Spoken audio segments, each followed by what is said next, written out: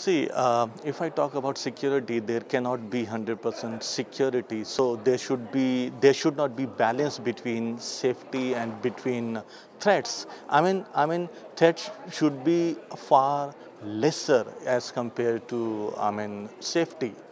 So again, I'm saying these companies need to create trust between their users, between their clients, because without giving data, we cannot, you know, uh, do Facebook, we cannot do Instagram. We have to give them data, but they have to create some level of trust and they should not misuse our data for uh, political gain of some parties, some government. I mean, they have to follow, they have to strictly follow their privacy policy which they show us.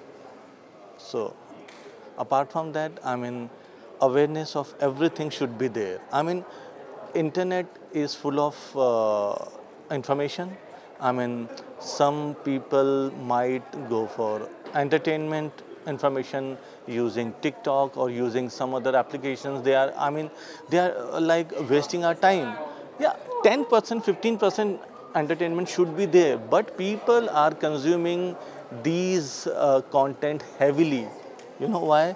Because they are tracking our activity. They know, I mean, what time we are free and what time we can consume their content and they are um, making us addict to that content.